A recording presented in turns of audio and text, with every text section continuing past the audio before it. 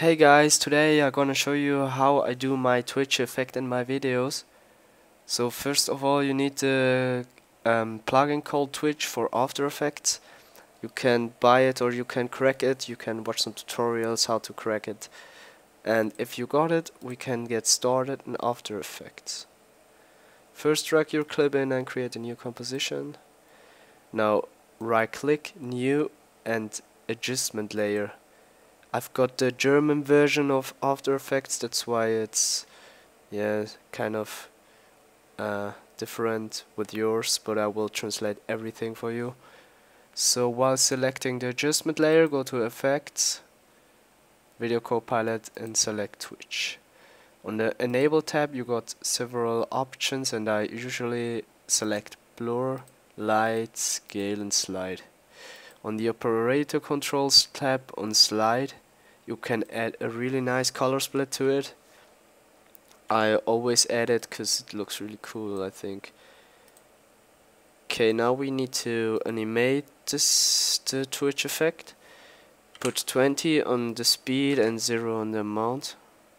Now go to the position where you want the effect around here.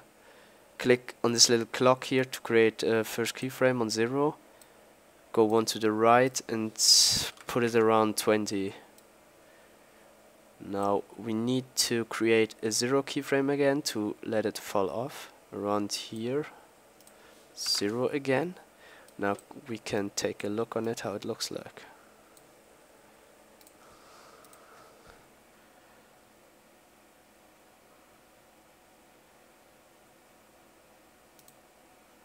Yeah that's one version of the Twitch effect I usually do.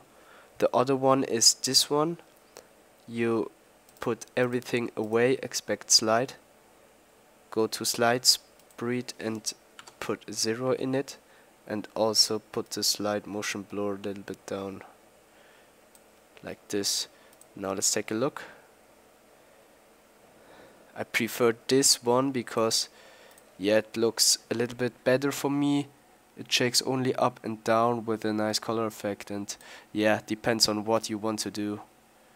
So yeah this was the twitch tutorial effect. I hope you enjoyed it. I hope you i hope i could help you with it. And if you got any problems just message me on the PaxSkills channel or ask in the comments. And if you got some tutorial wishes also post them into the comments. And yeah see you soon